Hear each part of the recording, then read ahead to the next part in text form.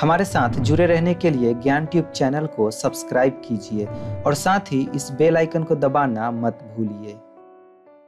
क्या आप भी अपने फ़ोन में ईमो ऐप को डाउनलोड करना चाहते हैं? क्या आप जानना चाहते हैं कि ईमो ऐप हम इंस्टॉल कैसे कर सकते हैं? तो फिर इस वीडियो को देखते रहिए। हेलो, नमस्ते। मेरा नाम है सनोज। तो चलिए इसे देखने के लिए चलते हैं अपने फ़ोन पे।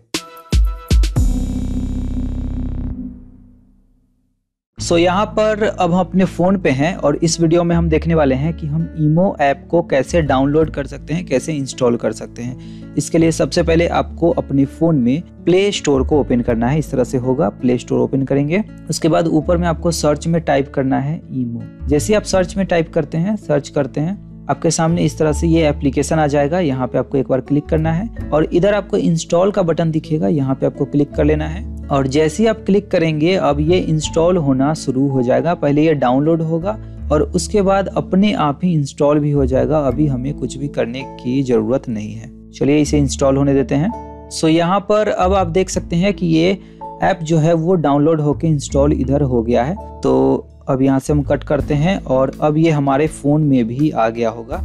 तो यहाँ पे आप देख सकते हैं, ये हमारे फ़ोन में आ गया है। तो इसी तरह से आप भी अपने फ़ोन में ईमो ऐप को डाउनलोड कर सकते हैं।